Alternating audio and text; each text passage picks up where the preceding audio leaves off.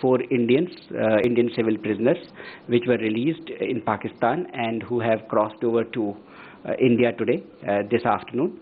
Uh, Shri Suraj Ram, Shri Sohan Lal, uh, Mr. Mohammad Maqbool Lone, and Mr. Abdul Majid. They are civil prisoners who were released uh, after serving their sentences uh, in Pakistan, and they are back in India today afternoon.